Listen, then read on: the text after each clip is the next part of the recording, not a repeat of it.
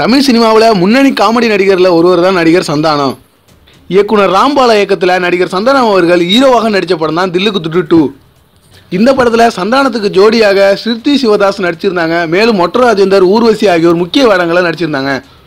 இந்த படம் கடந்த மாதம் வெளியாகி ரசிகர் மத்தியில் ரொம்பவே வரவேற்பு பெற்றிருந்தது. தில்லுக்கு துட்டு டூ படம் வசூல் ரீதியாகவும் நல்ல வரவேற்பு பெற்றிருந்தது அப்படின்னு தான் சொல்லணும். தில்லுக்கு துட்டு வெற்றிக்கு பிறகு அறிமுக இயக்குனர் ஜான்சன் இயக்கத்தில் தான் சந்தானம் நடிச்சிட்டு வந்துட்டு இருக்காரு. இந்த படத்தில் சந்தானத்துக்கு ஜோடியாக பாலிவுட் நடிகை தாரா அலிஷ் பெர்ரி நடிக்கிறாங்க.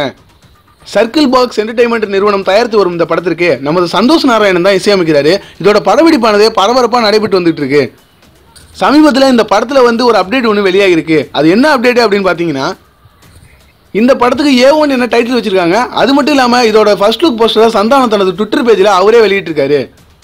இந்த ஃபர்ஸ்ட் லுக் போஸ்டரில் சந்தானம் கையில் விலங்கு மாட்டிட்டு ஹாய் சொல்கிற மாதிரி இருக்குது இந்த போஸ்டானது சமூக வலைதளங்களில் ரொம்பவே வைரலாக பரவிட்டு வந்துட்டுருக்கு.